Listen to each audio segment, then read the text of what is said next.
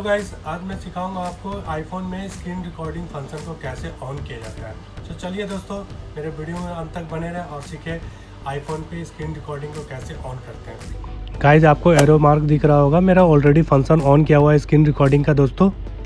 Screen recording function on करने के लिए सबसे पहले सेटिंग में जाना है दोस्तों। उसके बाद दोस्तों कंट्रोल सेंटर में जाना है। जैसा कि आपको स्क्रीन पे दिख रहा होगा एरो मार्क कंट्रोल सेंटर में टच करना है दोस्तों। उसके बाद दोस्तों इंक्लूड कंट्रोल्स सारा इंक्लूड कंट्रोल्स हमारा देखिए दोस्तों ऑन किया हुआ, जो जो मेरा फ़ंक्शन ऑन है शॉर्टकट में ये सारा ऑन है।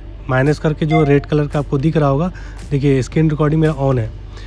तो दोस्तों, आपको भी ऑन करना है तो मोर कंट्रोल्स जैसे कि आपको दिख रहा होगा स्क्रीन पे मोर कंट्रोल्स ये प्लस का मार्क ये प्लस में टच करूँगा दोस्तों, वो फ़ंक्शन मेरा शॉर्टकट में आ जाएगा दोस्तों, और भी फ़ंक्शन बहुत सारे फ़ंक्शन को हम और ऐड कर सकते हैं। तो दोस्तों, बहुत ही आसान है स्क्रीन रिकॉर्डिंग फ़ंक्शन ऑन करना, जैसा कि आपको स्क्रीन पे बताया मैंने।